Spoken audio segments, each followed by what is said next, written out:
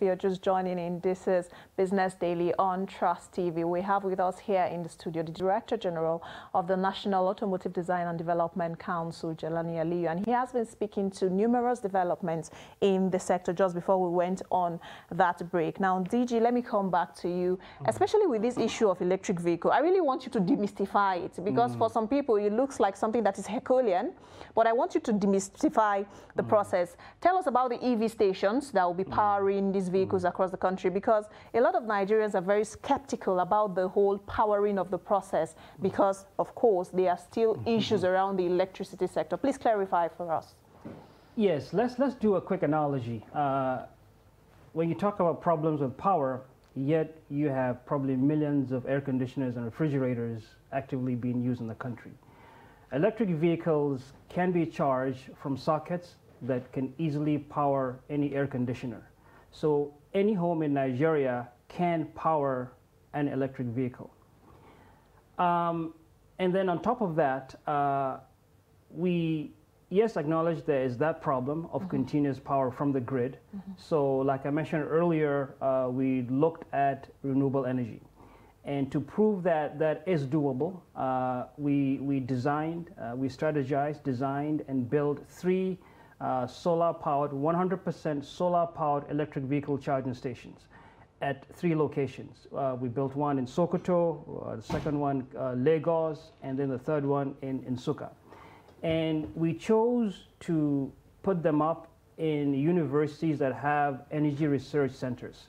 Uh, not just to prove the concept works, but to bring on, bring to the doorsteps of young Nigerians at these schools this advanced technology let them touch it, feel it, kick it, know that it exists, and have them go into it and come up with even better solutions.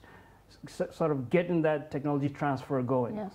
So electric vehicles are very viable in Nigeria, very feasible because we can use solar energy and other renewable energy sources, especially mini grids, to power them. And uh, as we speak, we're also building a, a, fourth one here in Abuja. Okay. This one will also have a supercharger that can charge these vehicles much, much quicker. So we have a blueprint that any uh, private sector entity can come work with us and replicate these across uh, uh the, the country at strategic uh, locations. Okay, okay, that's great. Now, I want you to speak to issues around bilateral relations to develop the sector because it is said that for for that for most sectors to grow, it, there is need to have mm-hmm. relations with other countries where we have also seen some of this concept work. I know you were recently in Japan. Mm -hmm. Tell us about what we what we should expect in terms of bilateral relations to develop the automotive sector. Yes, when you drive along in Nigeria, uh, a majority of the vehicles you see are Japanese. Uh, so we thought it uh, very important that we really uh, engage these OEMs even further. Uh, now, some of them are already in the country. Uh, Toyota partners with Elizade here. Honda West Africa is here as an OEM itself, Honda. you have Mitsubishi with CFAO. Uh, uh, Suzuki uh, with Bulus, um, and then Yamaha also with CFAO. Uh, so some of these Japanese companies already have presence in Nigeria, but what we want them to do is to really increase exponentially that investment so that they are able to produce even uh, uh, more vehicles in Nigeria.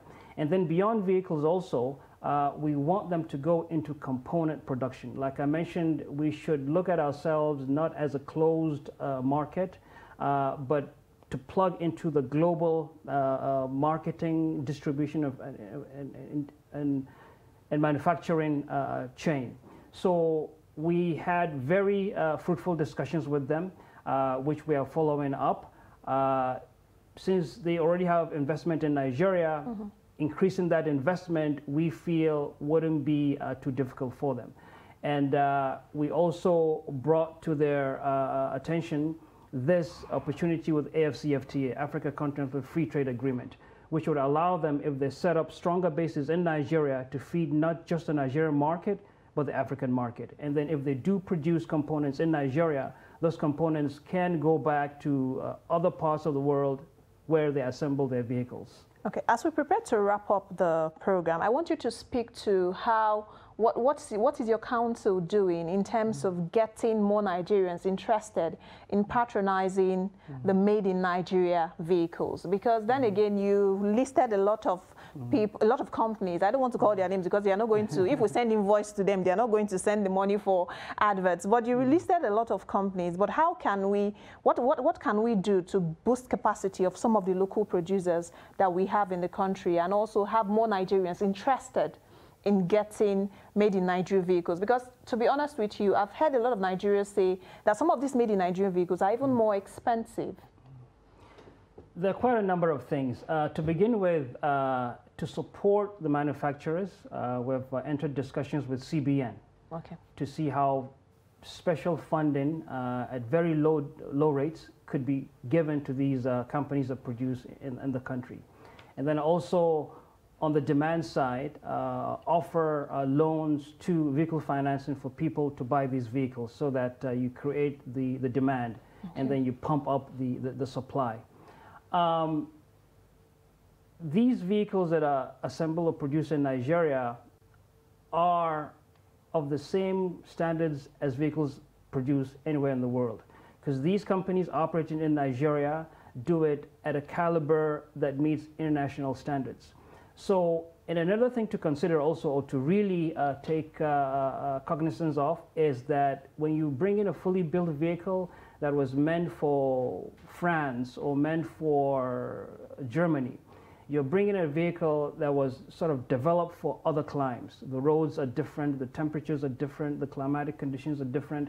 But these vehicles that are made in Nigeria uh, are designed, developed, and built to uh, cope with extreme conditions, extreme heat, extreme dust, extreme usage in, in, rough conditions. So buying a vehicle that is made here is ultimately more cost effective than bringing in a vehicle that breaks down uh, uh, not long after you start to use it. Okay, thank you so much. We have been speaking with the Director General of the National Automotive Design and Development Council, the NADDC, that's talking about Jelani Aliyu. Thank you for coming on the program today. My pleasure. Thank you. Now, a lot of updates there, especially as it relates to the automotive sector. And like you have heard him say, getting a vehicle produced here in Nigeria is more cost effective than bringing a vehicle from out of the country to probably use in the country. And as we, as we talk so much about patronizing made in Nigeria goods, the vehicle industry should not also not be left out. Don't forget you can catch up on all the information you need on news updates and also all the information you need in the world of business on all our social media platforms. Just go there and you are not going to miss out from news as they break. Thank you for investing your time with me on the program. My name is Christiana Amodu Otinya. Enjoy the rest of your day.